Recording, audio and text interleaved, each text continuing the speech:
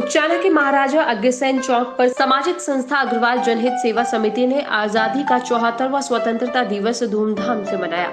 समिति के संचालक रामनिवास कर सिंधु ने कार्यक्रम का शुभारंभ किया।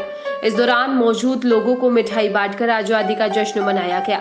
वहीं समिति के संचालक रामनिवास कर सिंधु ने स्वतंत्रता दिवस के इस शुभ अवसर पर देशवासियों को बधाई दी और गौ सेवा करने वालों को धन्यवाद किया। स्वतंत्र दिवस पर देशवासियों को हम बधाई देते हैं, धन्यवाद करते हैं। और जो गौ सेवक हैं, दिन रात लगे हुए हैं गौशाला में उचाना में इनको भी हम मान सम्मान के साथ धन्यवाद करते हैं और इनको जो समय दिया इनका धन्यवाद। स्वतंत्रता दिवस के इस पावन अवसर पर मैं सभी उचाना वासियों से यही अपील करना चाहूँगा कि स्वदेशी को अपनाएँ और हमारे देश को मज़बूत करें और साथ में गौ माता की सेवा करते हुए, गौ माता की सेवा में योगदान देते हुए, ज़्यादा से ज़्यादा गौ उत्पादों का प्रयोग करें अपने दैनिक जीवन में। आप जितना गौ उत्पादों का प्रयोग करेंगे, उतना ही गौ शक्ति जागेगी, उतना ही